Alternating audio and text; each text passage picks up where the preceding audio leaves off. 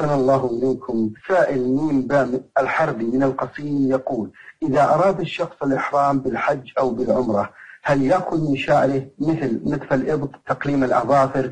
وهل بإمكانه أن يغتسل في بيته حتى ولو كانت المسافة بعيدة؟ هذه الأمور تستحب يستحب فعلها قبل الإحرام تهيئا للإحرام. فإذا أراد الإنسان أن يحرم فإنه يستحب له أن يأخذ هذه الأشياء التي قد تطول وتؤذيه وهو محرم مثل الأظافر الطويلة وشعر الآباط والعانة. هذه يأخذها قبل الإحرام لئلا تطول ويتأذى بها وهو محرم. وليس هذا بواجب فلو أحرم ولم يأخذ شيئا من أظفاره ولا من شعوره فإنه لا حرج عليه. وأما أخذ هذه الأشياء والاغتسال قبل الوصول إلى الميقات فإذا كانت المدة الزمنية قليلة حيث أنه يعملها في بيته ثم يصل إلى الميقات في وقت ليس بالطويل أن كان قريبا من الميقات أو كانت وسيلة النقل سريعة ولم يمضي إلا ساعات قبل وصوله إلى الميقات فلا بأس بذلك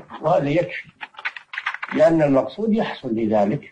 أما إذا كانت المدة الزمنية بين بين أخذها وبين الوصول إلى الميقات مدة طويلة تنمو هذه الأشياء فيها أو يأتي العرق والروائح التي تكون من جسمه بسبب السفر المستحب له أن يتعاهدها عند الإحرام. إذا أمكن ذلك. نعم.